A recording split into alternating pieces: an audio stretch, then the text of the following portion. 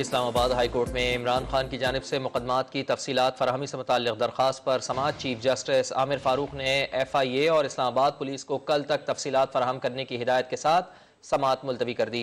मजीद जान लेते हैं इस्लामाबाद में समग्र नुमाइंदे सहेल रशीद हमारे साथ मौजूद हैं।